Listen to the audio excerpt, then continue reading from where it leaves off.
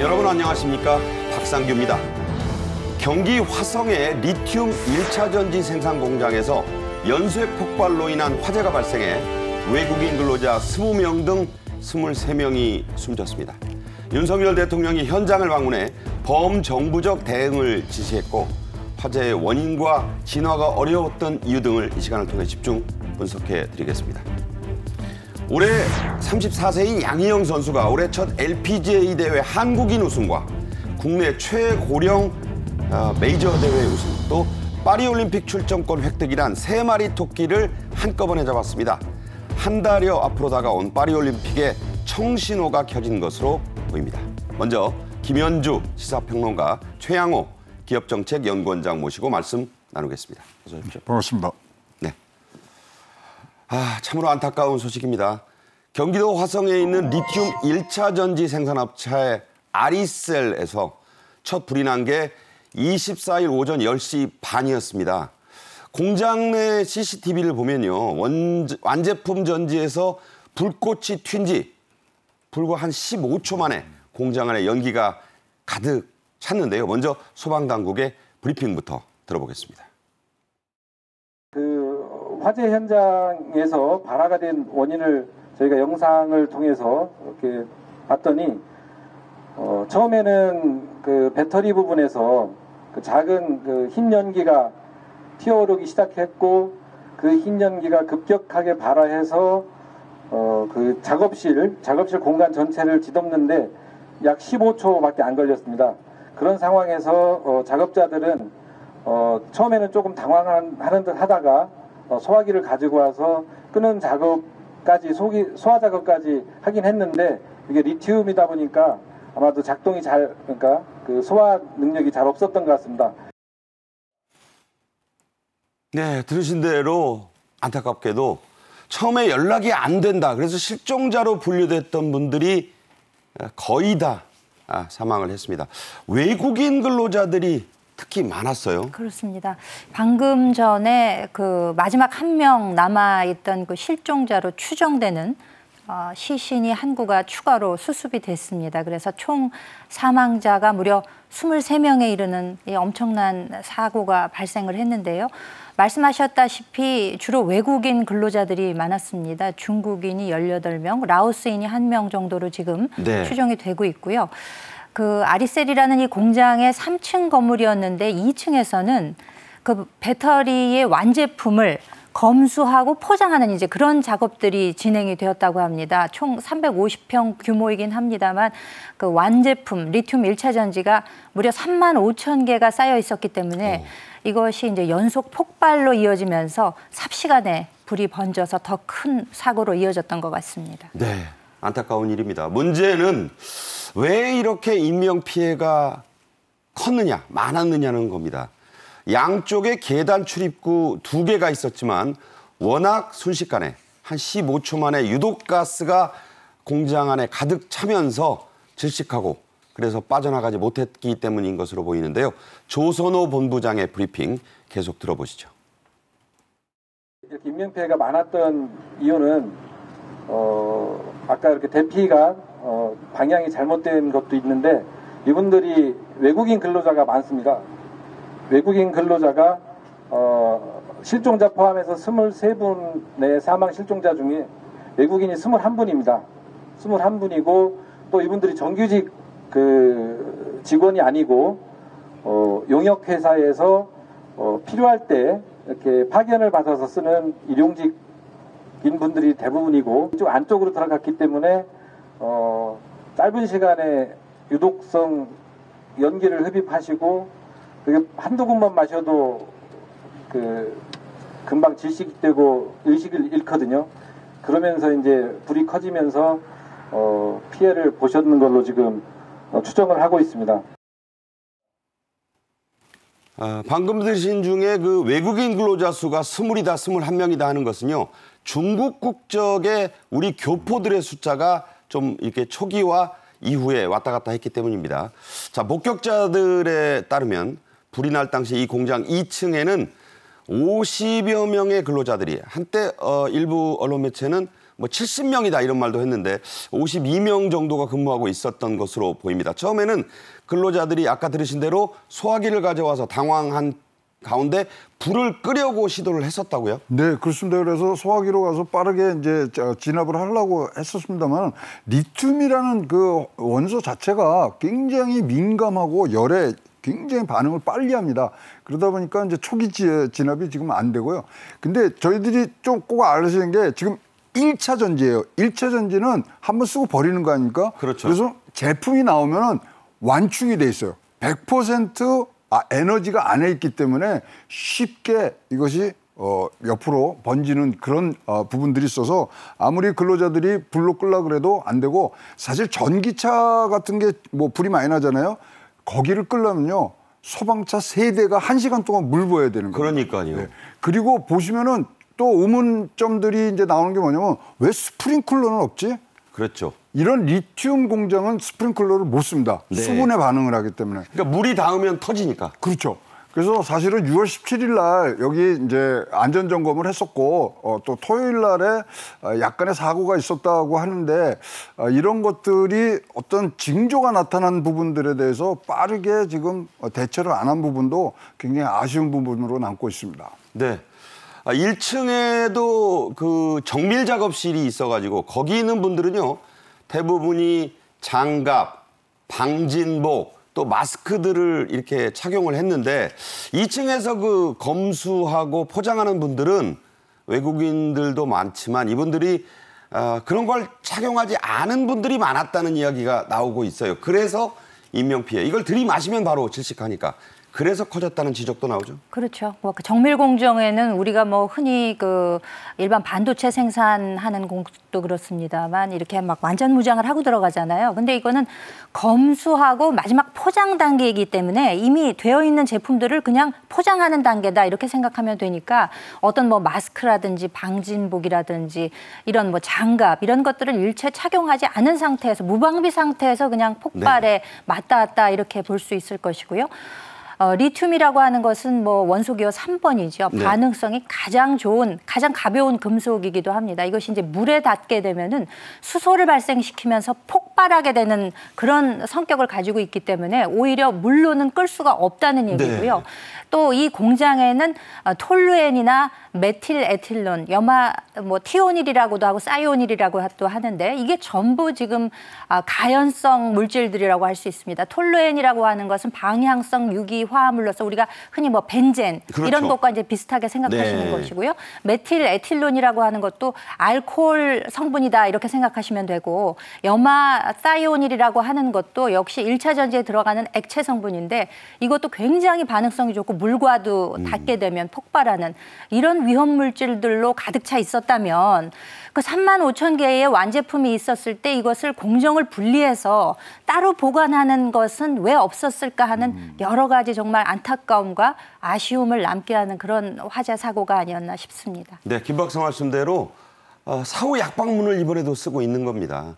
어, 전에도 이 근처 공장에서는 어, 작지 않은 불이 가끔 났었다고 합니다.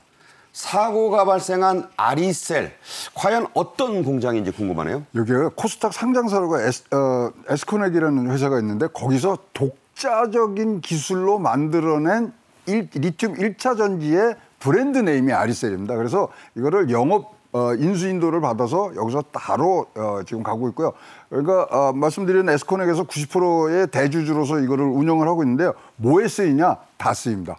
뭐 지금 우리가 알고 있는 뭐 전화기 뭐 이 데스크탑 뭐 그다음에 자동차까지 다 들어가는 부분인데요. 여기서는 뭘 주로 했냐면 스마트 그리드 어, 거기에 들어가는 그러니까 전력량이나 수도량 수도량 이걸 재는 부분들에 가고요. 여기가 국내용으로도 뭐 많이 쓰겠지만 사실 수출도 많이 했던 회사거든요. 네. 그래서 그러한 어, 업력을 좀 갖고 있습니다만은 어, 지금 요번에 지금 어, 김평만 의원님 말씀하신 것처럼 이거 소분해서 나눠서 어, 보관을 해야 되는 부분들인데 그거를 한꺼번에 하다 보니까 3만 5천 개 엄청난 양이죠. 어, 엄청난 양이죠. 거기에 다 하나씩 하니까 진짜 어, 전쟁 난 줄 알았다고 하는 현장 얘기들이 뭐 저 굉장히 어, 감동 있게 들어오고 있습니다. 40분에서 1시간 동안 빵빵 총 쏘는 줄 알았다. 무슨 원자폭탄 터지는 줄 알았다. 물론 들으신 분들의 감정의 기포 그 정도에 따라서 그런 반응들이 나오고 있습니다. 사고의 원인이 된 리튬 일차 전지에 대해서 좀 더 깊숙이 알아보죠. 자, 왜 이게 불에 폭발에 특히 취약한 거죠? 이게 리튬 전지를 만들면요. 어, 음극, 양극 있고 그에 전해질이 들어가는데 그런 분리막을 갖다 놓고서 서로 이제 이거를 아, 나눕니다. 근데 분리막이 이제 좀 약하게 되면은 어, 음극과 양극이 하면은 그때부터 반응이 어마무시하게 지금 빨라지죠. 빨라지고 어, 열에 약하고 어, 물에 약하고 그래서 물이 묻으면 안 되는 부, 어, 분도 많고요. 어, 특히 이제 뭐 우리가 지금 최근에 리튬이 하얀 석유라 그래서 굉장히 지금 어, 각광을 받고 있지 않습니까? 아, 그거 잘 만들면 막 수출도 많이 되고요. 그렇죠. 근데 그만큼 지금 위험성을 갖고 있고요. 어, 뭐 리튬 뭐 잘 아시겠지만 이 칼로도 베어내는 금속입니다. 그렇죠. 예, 그래서 굉장히 어, 밀도라든가 이런 것들을 안전하게 다뤘어야 하는 부분들이 있는데 아까 말씀드린 대로 일차 전지는 완충을 합니다. 그러니까 거기에 에너지가 꽉 차 있는 거거든요. 어, 그런 가운데 외부 충격과 이런 것들이 와서 어, 큰 화재로 지금 어, 벌어진 것 같습니다. 네. 아, 리튬 염화티오닐 전지를 만드는 공장이다. 여기서 독성 가스와 염소도 나온다고 하네요. 이건 물에 닿으면은 염소가 나오고요. 그다음에 이제 이거를 물로 어, 진압을 하면은 안 된다는 게 뭐냐면요. 거기서부터 수소가스가 나오기 시작하고요. 그다음에 이제 여기가 뭐냐면 어, 이 소위 말하는 이 열을 자기가 계속 갖고 있는 거예요. 음. 그래서 그것이 네. 점점 더 이렇게 퍼지는 부분들로 지금 가는 어, 그러한 특성을 갖고 있는 어, 그런 원소입니다. 자 이번에 화재가요 안팎의 문제가 다 있었다는 지적이 나옵니다. 그러니까 무슨 얘기냐? 아리셀 공장의 이 프레임, 외부 구조에도 문제가 있었다는 얘기죠. 사고가 잦은, 여러분 큰 사고 날 때마다 들어보셨을 거예요. 샌드위치 패널 먹는 게 아닙니다. 여기로 쌓여 있었다. 이게 왜 문제죠? 그러니까 건물의 내외장재가 샌드위치 패널로 되어 있었다는 거죠. 우리가 흔히 뭐 다가구 주택, 뭐 빌라 이런 것들도 겉에가 무슨 뭐 돌로 되어 있는 게 아닌가 싶어도 가까이 가서 보면은 이게 결국 샌드위치 패널로 되어 있는 경우가 많거든요. 저, 저겁니다. 그러니까 밖에는 음. 판이고 가운데다 이제 뭘 네, 말 그대로 샌드위치처럼 얇은 철판이나 판자 사이에다가 안에다가 단열재를 넣은 거예요. 그러니까 그 단열재의 재료로 주로 쓰이는 것이 뭐 우리가 흔히 이야기하는 스티로폼 그러니까. 이런 것들인데 이제 가격이 매우 저렴합니다. 싸죠. 그리고 이제 아무래도 작업하기도 쉽고 가볍고 빠르고. 이렇기 때문에 이와 같은 장점에 의해서 건물의 내외장재에 샌드위치 패널을 많이 쓰는데 이제 문제는 이게 너무 가연성이 좋기 때문에 불만 나면 그냥 그렇습니다. 화재가 나게 되면 불쏘시개 역할을 하게 됩니다. 장작 역할을 했단 말도 있어요. 그렇습니다. 음. 그러니까 이, 지금 어, 이 공장에서 문제가 발생한 것은 내부에는 리튬 그 건전지 완제품이 3만 5천 개나 쌓여 있어서 그 자체로도 폭발물처럼 역할을 한 데다가 건물의 내외장재 역시 샌드위치 패널로 되어 있었기 때문에 안팎으로 온통 가연성 소재로 꽉 차 있었다. 그렇게 된다면은 만약에 이렇게 위험 물질을 다루는 것에 대해서 보다 선명하게 그 여러 가지 대책들을 세워 놨어야 하는데 무방비 상태로 이렇게 화재가 한번 발생하게 되니까 이처럼 큰 인명 피해로 이어진 것이 아닌가 싶어서 정말 안타까운 마음이 듭니다. 이럴 때마다 왜 우리는 소 잃고 외양간을 고친다. 죽은 뒤에 약방문. 이거 뭐 한약방에서 옛날에 쓰던 말인데 어, 소위 뭐 의사들 뭐 어? 처방전을 그때 쓰면 뭐하냐. 이런 얘기를 왜 우리는 계속해야 할까요? 생존자들의 급박하고 안타까웠던 증언들이 잇따르고 있습니다. 사망한 외국인들이 공장 내부 구조를 잘 몰라서 탈출에 어려움을 겪었을 것이란 추정. 그런 목격담도 있죠? 네, 지금 이제 어, 하청업체에서 그냥 일용직으로 쓰시는 분들을 왔어요. 그런데 어, 지금 뭐 어, 외무부나 이런 어, 에서 지금 평가한 거 보면 외국인 고용허가 받은 E9이나 그다음에 방문처 H2를 받으신 보다 우리 재해동포 특히 중국 어, 드리는 F4 비자로 받았기 때문에 이런 거에 대해서 교육을 받을 수 있는 그런 여건들이 안 됐고 네. 일용직이다 보니까 와서 일만 하는 부분 아. 그러다 보니까 어느 생존자분이 말씀하신 게 울림이 있었던 게 뭐냐면 나는 여기에 내부 구조를 알아서 글로 피해서 나왔다는 거 아닙니까? 음. 그러다 보니까 불이 나고 있는 대로 많이 몰려가시는 그러니까 사방을 잘 모르는 길을 아는 사람은 예, 빠져나왔는데. 빠져나왔죠. 그리고 어 뭐 위에서 사진을 찍어보면 세 구역으로 나눠 있는데 그 몰린 데가 더욱더 화재가 아주 진앙지로 어 이 피신을 하는 그런 잘못된 부분들이 있어서 어 굉장히 안타까운 이런 어 결과들이 지금 나오고 있습니다. 외국인 사망자들은 연고자와 연락이 닿지 않고 있습니다. 당연히 뭐 중국분, 라오스 분들이 많으니까. 처음 발견된 한국인 사망자 참 안타깝습니다. 세 남매를 둔 청주의 가장이라죠. 그렇습니다. 정말 너무너무 안타깝고 뭐라 애도의 말씀을 드려야 될지 모를 정도인데요. 이 사망자 김모 씨의 경우에는 지금 52살 아내와 세 남매를 둔 가장이었습니다. 지금 막내의 경우에는 고등학생이라고 해서 더 안타까움을 자아내고 있습니다. 이제 이분이 원래 본가는 청주라고 하는데 어, 공장이 기숙사에서 이제 생활하면서 주말 가족으로 아마 만났던 모양입니다. 예. 소식을 듣고 달려온 부인의 경우에는 뭐 어디서 발견이 됐냐, 뭐 가스가 많았느냐, 뭐 이런 여러 가지를 황망한 중에 묻다가 오열하는 그런 장면이 어, 보여져서 많은 분들로 하여금 굉장히 안타까움을 더 자아내게 했고요. 어, 주말 가족이라는 점에서도 또 처형과 함께 근무를 했는데 어, 그분은 무사했지만 혼자 참변을 당했다는 면에서도 아, 정말 참 안타까운 마음 금할 길이 없습니다. 또 다른 분들도 막 택시 타고 달려온 분들이 많았다고 해요. 그렇습니다. 그래서 애들 아빠 어떻게 하느냐, 우리 아빠 어디 있느냐, 뭐 이런 얘기가 나왔습니다만 이렇게 황망하게 어, 그러니까 삶과 죽음이 갈리는 이런 사건 현장에 있어서는 그 어느 희생 하나가 뭐 안타깝지 않은 경우가 없겠습니다만 유독 또새 남매를 두고 계시다는 이 가장분의 사연을 듣게 되면 더 마음이 아주 좋지 않은 그런 느낌은 공통으로 가지시는 게 아닌가 싶습니다. 자, 이분은 가족이 있고 신원도 밝혀지셨어요. 그런데 외국인 근로자 이 스무 분의 빈소에는 사진도 없고 이름도 아직 확인이 안 되고 있어서 번호표만 있다고 하니 더 참 참담하네요. 그래서 이제 발견된 순서대로 식별 번호를 아마 부여했던 모양입니다. 앞서서도 설명해 주셨다시피 주로 일용직으로 외국인들이 많이 와서 일을 했었기 때문에 별반 뭐 사진이나 이름 이런 것들도 식별하기 어려운 지금 그런 상황이라서 번호표로만 표시를 하고 있다는 건데요. 어, 어떤 가족의 경우에는 아마 네 명이 함께 와서 일을 했던 모양입니다. 중국 국적의 사촌 누나 두 명은 연락이 두절되고 친형은 빠져나오고 네. 지금 이 말을 전하는 본인은 아마 살아 나온 모양입니다. 그러니까요. 어, 네 명의 형제가 일을 하다가 이제 두 명은 안타깝게 아마 희생당한 것이 아닌가 이제 이렇게 추정만 지금 하고 있고 지금 가족들을 찾는 전화들이 아마 계속 오고 있는 예, 빗발친데요. 상황인 모양이에요. 하지만 경찰이 입회를 해야 현재는 확인이 가능한 상황이어서 이런 상황적인 측면들도 더 참 안타깝게 느껴집니다. 아, 이렇게 좀 안타깝다는 말을 반복하는 이 상황도 좀 아, 화가 납니다.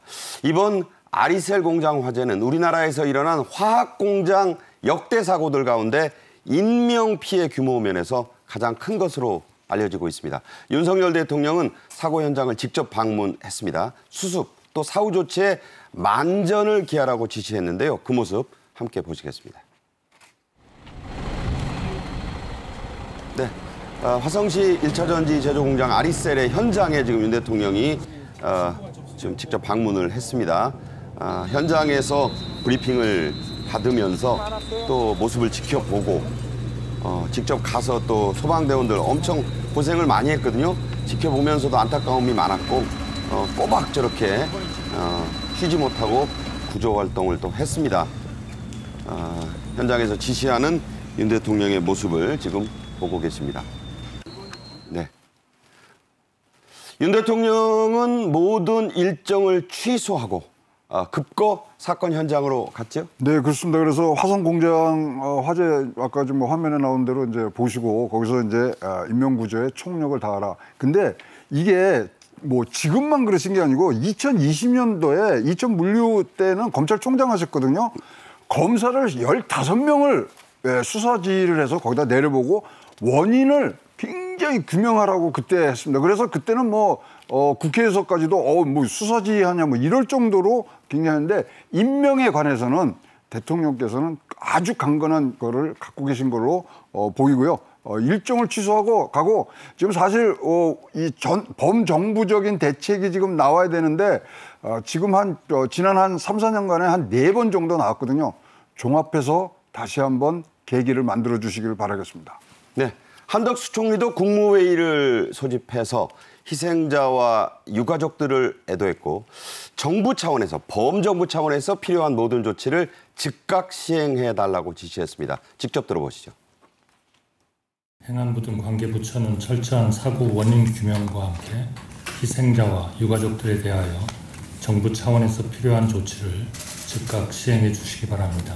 또한 고용부, 산업부, 소방청 등은 산업시설에 대한 긴급 안전 점검을 실시하여 사고가 우려되는 부분에 대해 즉각적인 보완 조치를 해주시기 바랍니다.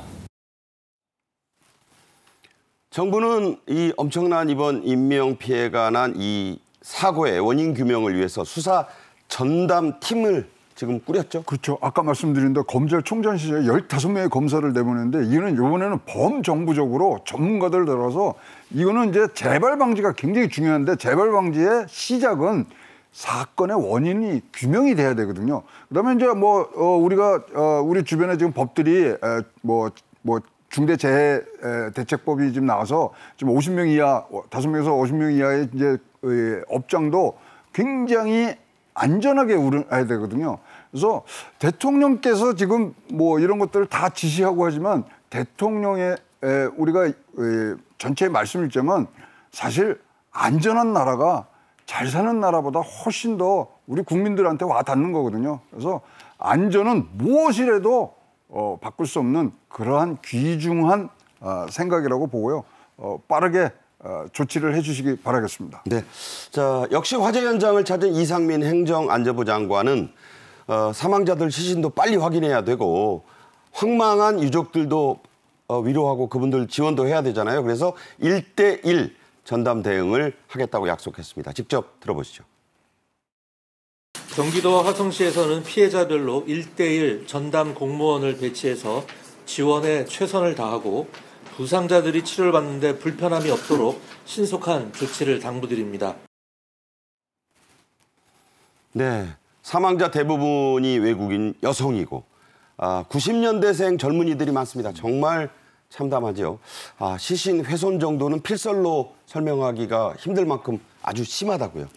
그렇습니다. 뭐 15초 만에 불길이 번져서 폭발 사고가 연이어졌기 때문에 지금 이 어, 소사로 분류가 되고 있을 정도입니다. 그렇기 때문에 더욱 시신의 훼손 정도가 심해서 지금 음, 근로자 18명 가운데 15명이 여성이다. 젊은 외국인이 많다. 이런 정도만 분류가 되지 어, 정확하게 그 신원 파악을 하는 데는 상당한 시간이 걸릴 것으로 보입니다. 지문을 확인하는 것도 불가능하기 때문에 뭐 두개골이라든가 머리의 길이, 옷, 안경 이렇게 이제 남아 있는 물품, 유류품 같은 것이 발견이 된다면은 이거를 분류를 해서 과연 어떤 분의 것인가 이것도 파악을 해야 될 것이고요. DNA 채취를 하려고 해도 대부분 외국인들이기 때문에 이 정보가 남아있질 않습니다. 현지에 있는 가족분들이나 이런 분들이 오셔서 어떤 그 증거 자료 같은 거를 좀 제시를 해 주셔야 DNA를 대조해 보는 등 이런 아, 과정을 통해서 어, 그 결과를 알 수 있는 것이기 때문에 지금 현재 시료를 수집 중에 있다고 합니다. 지금 현재 화성 장례문화원, 송산 장례문화원, 화성 중앙병원 등 다섯 곳에 분산 안치해 있는 그런 상황입니다. 네, 아, 국가수 부검도 해야 하고요. 이게 이제 수사니까. DNA 분석을 하는데 이게 금방 또 안 나옵니다. 시간이 꽤 걸릴 거라죠. 그렇죠. DNA는 그럼 DNA하고 나하고 비교할 그 대상이 있어야 되지 않습니까? 그러면 유가족들이 해외에서 오셔야 돼요. 그래갖고 그거를 분석해서 하는데 사실 이렇게 되면 또뭐 전체 몸이 지금 소사가 됐기 때문에 사실 대퇴부에서밖에 못 나오는 부분, 그다음에 그 뭐 유가족들이 오시는 부분, 그래서 또 맞춰보는 부분. 예, 이게 평균적으로 3개월 이상 지금 걸리는 아, 작업이라고 좀 알려지고 있고요. 네. 어, 또 어떤 분은 웅크리고 우리 그뭐 pom페이의 그런 뭐 화, 화산 터졌을 때 그 모습 같은 모습을 갖고 있는데 얼마나 참담합니까? 예, 어떻게 거기서 어, 어떤 유전자를 발견한다는 자체가 굉장히 서글픈 얘기라고 볼 수밖에 없습니다. 네. 자, 외국인 희생자분들이 많아서 외교부와 이 공관들도 할 일이 참 많죠. 그렇습니다. 일단 외교부에서는 외국인 사망자들의 명단을 지금 아마 확인을 하고 있는 모양입니다. 그 일용직 근로자로 일하신 분들이기 때문에 이분들의 명단을 확인을 해서 주한 대사관에 일단 통보하는 과정이 급선무로 아마 진행이 될 것으로 그렇게 보입니다. 아, 그리고 이제 장례 절차라든지 유, 가족 분들이 이제 입국을 하셔야 되기 때문에 이에 대한 지원 이런 것들은 아무래도 출입국 관련 절차를 맡고 있는 법무부라든지 네. 현지 그 재외 공간 이런 곳에서도 협력이 불가피하지 않나라는 생각이 들고요. 현재 우리 정부의 그 강인선 외교부 차관의 경우에는 어, 정부 차원에서 지원을 하겠다라는 입장을 밝혔고 지금 중국인들의 피해가 가장 큰 것으로 지금 네, 추정되고 맞아요. 있기 때문에 싱하이밍 주한 중국 대사도 현장을 방문했다고 합니다. 네. 아, 원인의 철저한 규명, 빠른 수습과 지원, 무엇보다도 유족들의 마음을 잘 다독이고 지원하는 것. 그리고 재발 방지책 이번에는 정말 구두선에 그치지 않았으면 좋겠습니다. 김현주 평론가와는 여기서 인사를 드리도록 하겠습니다. 잘 들었습니다. 감사합니다. 완전히 개방된 대화를 표방하는 2024 파리 하계올림픽이 한 달 앞으로 다가왔습니다. 아, 그런 가운데 양희영 선수가 한국 여자 선수로는 최초로 30대 나이에 메이저 대회를 제패하는 낭보를 전해왔는데요. 다 쓰러져 가던 여자 골프 왕국 한국을 일으켜 세우면서 파리올림픽 출전권까지 따냈다는 평가가 많습니다. 먼저 영상으로 보겠습니다.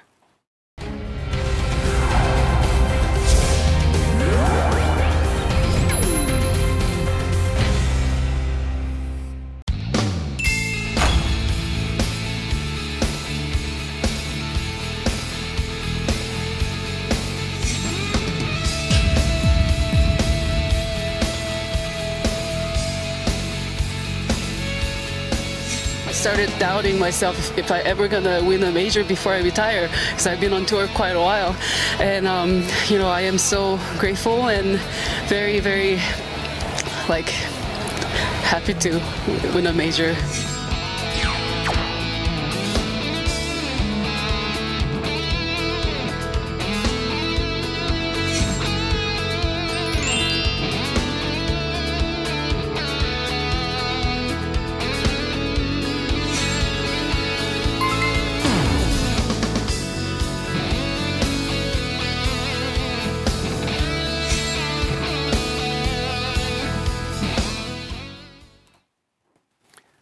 주제에는 최동호 스포츠 평론가도 함께하겠습니다. 안녕하세요. 예, 안녕하세요. 네. 자, 매력적인 도시, 예술의 도시 파리에서 100년 만에, 1세기 만에 열리는 올림픽이라는 이 가장 큰 특징이 있습니다. 아, 파리를 대표하는 각종 랜드마크들이 많이 있죠. 나폴레옹의 자취가 있고 마리 앙뚜아네트의 자취가 있습니다. 그곳에서 올림픽이 하늘, 육지, 바다, 뭐 다 이런 데서 열린다면서요? 그렇습니다. 뭐 좀 말하신 대로 거기도 보면 에펠탑, 센강, 그다음에 뭐 어, 어, 베르세, 베르사유체, 그다음에 베르사유 궁전에서는 또 승마 경기도 지금 벌어지고요. 그다음에 이제 센강에서 어, 뭐 근대 오종이라든가 이런 것 때문에 수영도 하고 그다음에 입장식 날 뭐냐면 선수 만 명을 태운 160척의 배가 센강을 지나갑니다. 어마어마하죠. 네. 근데 파리가 왜 이런 자존심을 갖고서 관광과 같은 여러 가지 문화를 하냐면요.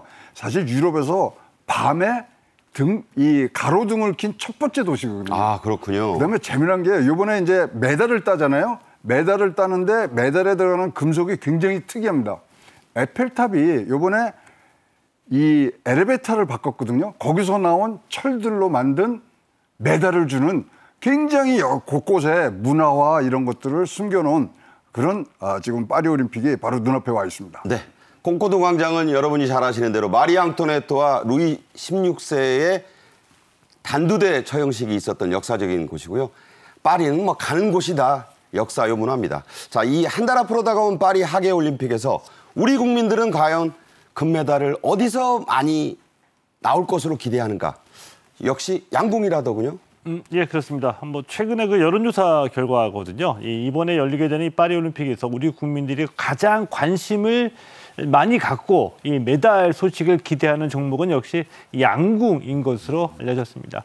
아, 양궁은 혼성 단체 종목이 추가가 되면서 금메달 다섯 개가 걸려 있고요. 우리 대표팀은 어, 그 전 종목 석권 금메달 다섯 개 도전하고요.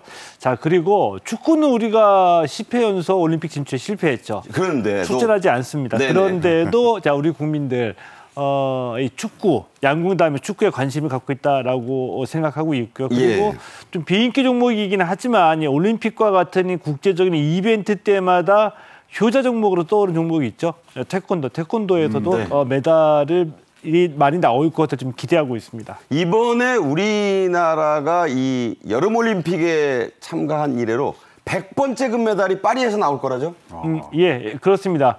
어, 우리가 이제 88년 올림픽, 서울 올림픽 이후로 그 꾸준히 발전을 해왔고요. 또 그리고 어, 세계적인 스포츠 강국으로 자리를 해왔죠. 자, 그래도 어, 올림픽 금메달은 하늘이 정해주는 거다. 실력 이외에 여러 가지 변수가 워낙 많이 작용하기 때문에 실력만으로 가지고 갈 수 없는 게 이제 올림픽 금메달인데 아, 이 한국 스포츠 어, 뭐 자랑스럽게 생각해도 될 것 같습니다. 왜냐하면 올림픽에서 100번째 금메달이 이번 파리 올림픽에서 기대가 되고 있고요.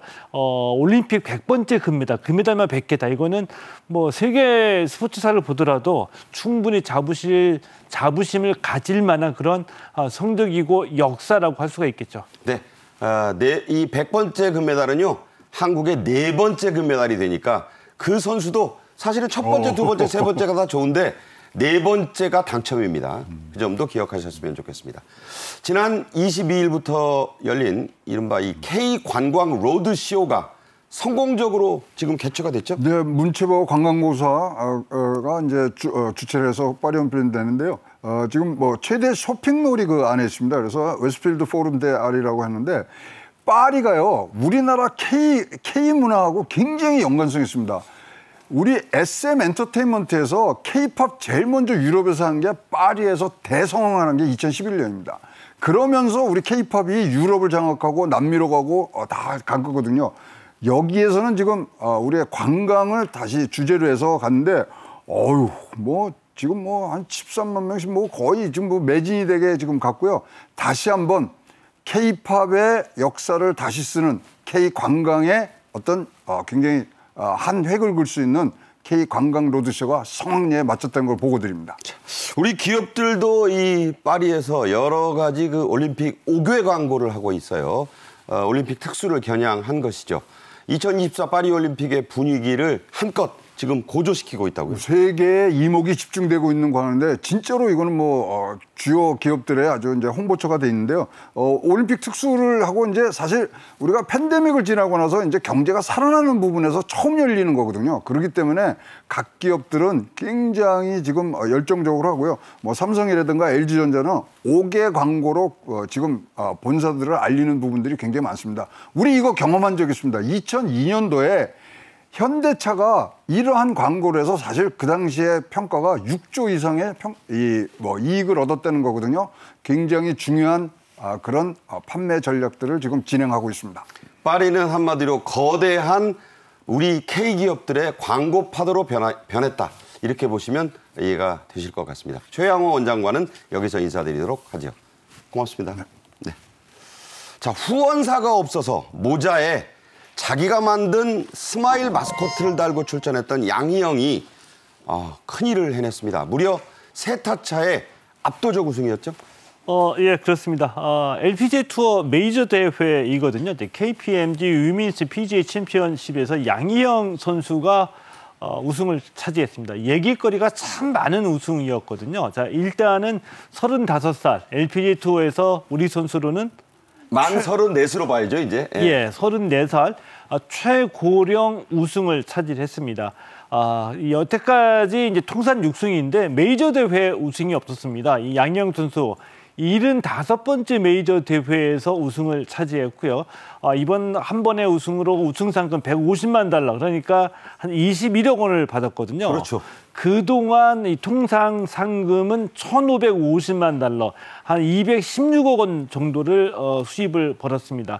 어, 몇 가지 의미가 있는데 이번에 우승하면서 파리 올림픽 출전권 확보했고요. 그리고 어, 이번이 올 시즌 LPGA 투어 16번째 대회인데 어, 한국 여자 골프가 좀 부진했습니다. 16번째 대회 만에 LPGA 투어에서 우승 소식을 전해왔습니다. 네. 자, 이 대회는 이름이 바뀌기 전에 뭐 맥도날드 챔피언십이라고 했어요. 기억하시는 분들 많을 거예요. 박세리 선수도 우승을 했었고 박인비 선수는 어, 많이 우승을 했죠. 신기록도 세웠습니다. 하지만 모두 20대 한창 나이에 이룬 기록들이었죠? 예, 그렇습니다. 지금 말씀을 해주셨는데 KPMG 위민스 PGA 챔피언십이라는 대회 타이틀보다도 LPGA 맥도널드 챔피언십이라는 대회로 기억하시는 분들이 더 많을 거라고 봅니다. 저도 그래요. 이 전신 대회인데 이, 이 스폰서가 바뀌면서 이렇게 이름이 바뀌게 됐거든요. 이 대회는 우리 선수들의 인연이 참 많았던 대회죠. 어, 이 한국 여자 골프 신화 어, 영우인 이 박세리가 이 대회에서 세 번이나 우승을 차지했고요. 또 박인비 선수는 2013년부터 무려 3년 연속 우승을 기록하기도 했습니다. 어, 우리 선수들의 우승이 모두 다 20대였었는데 30대 선수가 우승한 것은 이번 양희영 선수가 처음이고요. 골프는 물론 이제 30대 이후에 또 선수 생활을 지속하는 경우가 많이 있지만 최전성기 기량은 뭐 역시 20대이기 때문에 30대 우승은 뭐 당분간 좀 보기 힘들 기록이라고 봅니다. 네. 어, 한때 여자 골프 왕국이라고 우리가 자부를 했는데 우리나라 그런데 올 들어서는 아직 뭐 6월이긴 합니다만 단 한 대회에서도 우승자를 내지 못했었죠. 그 가뭄을 일거에 해소한 거죠? 어, 예, 그렇습니다. 앞서 말씀드린 대로 올 시즌 개막하고 16번째 대회에서 우승했거든요. 뒤집어서 말씀을 드리면은 한국 여자 골프가 LPGA 투어에서 이제 부진하다는 겁니다. 2015년, 17년, 19년에 한국 여자 골프가 LPGA 투어에서 무려 15승을 기록했거든요. 15승이면은 LPGA가 한 시즌에 보통 30개 대회 정도를 개최하니까 어, LPGA 대회 절반은 우리 선수들이 다 우승을 했었습니다. 그런데 그렇죠. 2020년서부터 내리막길을 걷고 있습니다. 2020년에 7승이고요. 21년에 5승, 22년에 어, 4승, 그리고 지난해 23년에 다시 5승이었거든요. 어, 어, 우승 횟수가 좀 줄어들고 있고요. 절반 이하로 뚝 떨어진 거예요. 예, 그렇습니다. 그리고 LPGA 투어에서 뛰고 있는 우리 선수들 숫자도 줄어들고 있습니다. 2009년만 하더라도 한 40명 선수가 LPGA 투어에서 뛰었는데 올해 현재 LPGA에서 활약하고 있는 선수들은 23명입니다. 선수들도 절반가량 줄어들었습니다. 그렇군요. 자, 뭐 이런 침체기를 뒤집는 그런 쾌거였습니다. 양영 선수는 작년에 아, 은퇴까지도 고려했다고 할 만큼 체력과 경기력에 본인이 많은 심정적인 한계를 느꼈다고 하는데요. 전형적인 성실한 모범형 늦깎이다 이런 평가가 나오고 태국에 유독 강했어요. 어, 태국에서 강했다는 얘기는 이제 태국에서 열렸던 LPGA 투어 혼다 타일랜드 오픈이 있거든요. 여기서 이제 무려 두 번이나 양희영 선수가 차지했기 때문에 태국에 어, 특히 강하다라는 얘기가 나오고요. 어, 지난해 취미인 암벽 등반을 하다가 팔꿈치 부상을 당했습니다. 이제 부상이 좀 심각해서 어, 은퇴를 고려했었었는데 2008년 LPGA 투어 데뷔 이후 17시즌 만인 어, 17시즌 만이고요. 그리고 메이저 대회로만 따지면은 어, 메이저 대회로만 어, 따지면은 무려 75번째 도전에서 아. 어, 지난해 위기를 극복하는 이 우승을 좀 가지고 온 거죠. 대단하군요. 예, 그리고 앞서서 앞서서도 이 파리 올림픽 얘기를 잠깐 했는데 2016년 리우데자네이루 올림픽 때 이 대표로 올림픽 참가를 했거든요. 이때는 좀 아쉽게 공동 4위를 기록했습니다. 금메달은 그때 우리의 박인비 선수가 땄죠. 리우 때. 어, 예, 리우 때 박인비 선수가 땄고 이 어, 도쿄 올림픽에서 기록했었죠. 그렇군요. 아, 예. 그렇군요. 자, 앞서 잠깐 어, 설명을 해드렸지만 양영 선수는 이번 메이저 대회에 스폰서가 없이 출전했습니다. 그러다 보면 그냥 어떤 선수는 민머리로 나오기도 하고 모자를 뒤집어 쓰고 나오기도 이 거꾸로 쓰기도 합니다. 그런데 양 선수 자기가 새겨놓은 스마일 표식을 자수했죠. 어, 뭐라고 할까요? 좀 센스 있다라고 할 수 있고, 뭐, 씩씩하다라고도 말씀드릴 수가 있을 것 같습니다. 보통 이제 골프 선수들이 대회 출전할 때 아, 착용하는 모자, 지금 이제 보시는 바로 이 장면인데, 모자하고 의류에는 아, 후원사의 브랜드를 달아서 노출을 하게 되죠. 자, 그런데 양희영 선수 어, 부진했던 기간도 있었고요. 또 이 부상 때문에 좀 들쭉날쭉한 감이 있었기 때문에 자, 후원사가 현재 없습니다. 아, 때문에 자신의 경기복이나 이, 이, 이 노출할 경기복에 노출할 브랜드가 없는데 흰색 모자에 본인이 직접 자수를 떠서 스마일 마크를 새기는 흰색 모자를 쓰고 경기에 출전했거든요. 어, 이 스폰서가 없기 때문에 이제 브랜드 노출을 못했는데 그럼에도 불구하고 씩씩하고 좀 어, 센스 있는 감각을 발휘했다라고 볼 수도 있겠죠. 더 값질 수도 있습니다. 이번에는 좀 후원사가 나설려나? 그 궁금한 생각이 저도 듭니다. 양영 선수가 이번 대회 2라운드 경기를 마치면서 인터뷰를 했는데 박세리 선배를 언급해서 화제가 됐습니다. 아, 이 박세리 선수 언급에는 자신도 이른바 박세리 키즈였다. 어, 34살이 됐지만 어, 박세리 선수 등 여자 메, 메이저 대회 우승 장면을 보면서 자랐다. 마지막 라운드에서도 결과를 생각하기보다 매 순간 최선을 다하겠다. 자, 같이 뛰던 선수들 뭐 최나연 선수도 있고 다 은퇴했지 않았습니까? 어, 예, 은퇴를 했고 이제 마지막 남아 있는 박세리 키즈 선수 중에 한 명이라고 볼 수가 있죠. 양희영 선수. 아홉 살 때 바로 이 대회입니다. 아, 당시 이제 맥도널드 챔피언십에서 박세리가 우승하는 장면을 보면서 이 골프의 꿈을 키웠다라고 얘기를 했거든요. 자, 그런데 어, 이번 대회 우승 참 그 감개무량했을 것 같습니다. 지금 이제 바로 이 장면인데요. 이, 이 전신인 맥도날드 챔피언십 그리고 이번에 KPMG 이 Women's PGA 챔피언십에도 우승하게 되면은 챔피언이 당연히 이 트로피를 받게 되잖아요. 근데 이 트로피에 역대 우승자 이름이 다 새겨져 있습니다. 그렇죠. 이 트로피를 안고서 박세리의 이름을 본인이 확인하면서 음. 아, 내가 이제 골프의 꿈을 키웠던 박세리 언니, 박세리 선배 이름이 새겨진 이 트로피가 그렇게 갖고 싶었는데 거기에 내 이름도 예. 드디어 나도 이름을 새기게 됐고 그 트로피를 내가 갖게 됐다. 참 감개무량할 수밖에 없겠죠. 네. 그 박세리 선수 최근에 잘 아시는 대로 부친의 빚 문제로 구설에 올랐고 눈물도 보였었습니다. 희소식이 들어왔어요. 밴 플리트 상을 받게 됐는데 6.25 때 사령관 이름 아닙니까? 어, 뭐 잘 아시는 것처럼 밴 플리트는 이 한국 전쟁 때 미팔군 사령관이었었죠. 어, 단순히 어, 이 미군으로서 한국 전쟁에 참여한 것이 아니라 한국에 대해서 특별한 애정을 갖고 있던 분이었습니다. 어, 어느 정도였었냐면은 어, 우리 그 육군사관학교 창설에도 많은 기여를 했고요. 또 어, 은퇴 이후에 어, 미 육사 이 동기인 아이젠하워 대통령이 이 벤프리트 장군에게 한국 대사직을 제안했을 때 한국에서 내가 한국에 가서 한국에 미국의 이익을 요구할 수 없다라는 이유로 이 대사직을 제안할 정도였었는데요.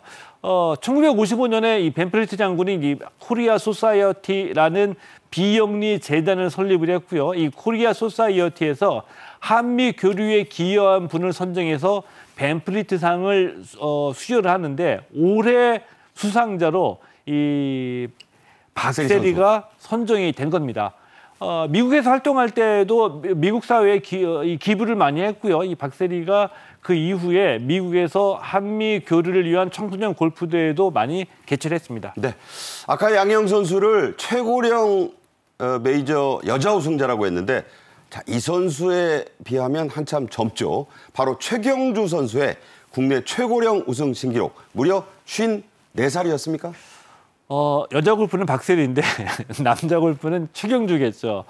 어, 최경주 선수는 아직까지도 뛰고 있습니다. 지난 5월에 SK텔레콤 우승에서 우승을 어, 이 SK텔레콤 오픈에서 우승을 차지했는데 공교롭게도 우승 당일이 어, 본인의 54번째 생일이었습니다. 그러니까요. 그러면서 이 한국 남자 골프 최고령 우승 기록을 세우게 된 거죠. 어, 경기 내용도 참 쉽지 않았는데요. 연장전까지 가는 접전이었었거든요. 마지막 날 그 물로 들어가는 줄 알았는데 그게 섬에 딱 올라갔어요? 예, 그 1차 연장전이 벌어졌던 18번 홀에서 티샷이 워터 해저드로 날아갔습니다. 날아갔는데 어, 기적 같은 행운이죠. 그 워터 해저드 안에 마치 그 동떨어진 섬처럼 돌로 어, 둘러싸여 가지고 물이 수면 위로 올라온 부분이 있었었는데 풀이 좀 나 있었고 예 바로 거기에 공이 떨어져서 공이 살아남은 겁니다. 저도 그거 보고 깜짝 놀랐어요. 네. 근데 그, 그 이른바 이 섬샷이라고 얘기를 하는데요. 섬 같은 공간에 공이 떨어졌는데 이 최경규 선수의 고향이 또 완도라서 말은 화제가 되기도 했었죠. 섬사나이의 섬샷이 최고령 우승을 만들었다 이런 얘기고 화제 회자가 됐습니다. 자 끝으로요 최경주 골프장 학생 출신도 우승을 했습니다. 아, 선한 영향력이 또 이어진 거죠. 김민규 선수인데 국내 최고 대회라 평가되는 한국 오픈을 우승했습니다. 앞서 말한 대선배 최경주의 그 섬샷을 나는 떠올렸다. 자, 저 퍼터가 최경주 선수가 들어서 유명해진 그 퍼터 아닙니까? 예, 맞습니다. 지금 이 김민규 선수 우승 이후에 이제 최경주 장학생이라고 많이 이제 소개가 됐고 있거든요. 이게 무슨 얘기냐면은 아, 최경주 선수가 본인의 이름을 건 최경주 재단을 설립해서 유망주들을 발굴해서 지원하고 있습니다. 어, 김민규 선수가 아마추어 때 어, 대회에 나가서 김민규 선수의 플레이를 보고 이 어려운 가, 가정 환경 속에서도 이렇게 잘하는 선수가 있구나. 이 그래서 이 김민규 선수의 해외 전지 훈련 그리고 레슨을 계속 지원을 해 왔거든요. 이 선수가 성장해서 한국 오픈 어, national 타이틀이 걸린 이 한국 오픈에서 우승을 차지했습니다. 그때 샷은 저는 못 봤지만 이 물로 들어간 샷이 물수제비 뜬다고 하잖아요. 돌 이렇게 탁탁 튀듯이. 예. 그렇게 해서 빠져나와가지고 또 우승으로 이어졌다고 하나요? 어, 최경주 선수의 그 섬샷의 우승 기운이 김민규 선수에게도 이어진, 이어진 듯한 그런 느낌인데 기적 같은 또 행운이었습니다. 김민규 선수 18, 13번 홀에서 티샷이 워터 해저드 쪽으로 날아갔습니다. 그런데 물이 고, 공이 물에 빠진 게 아니라 물 수면 위에서 통통통통 튀면서 러프로 올라가서 공이 살아났죠. 강력한 강한 스핀이 걸려서 이제 가능한 샷이었다라고 볼 수 있겠죠. 네, 아, 우연도 준비하고 훈련된 사람에게 찾아온다는 말이 있습니다. 그냥 아무에게나 오는 행운은 아니라는 생각을 저는 개인적으로 해봤습니다. 최동호 스포츠 평론가와 말씀 함께 나눴습니다. 잘 들었습니다. 고맙습니다. 네, 지금까지 정책엔 이슈 전해드렸습니다. 시청해주신 여러분 감사합니다.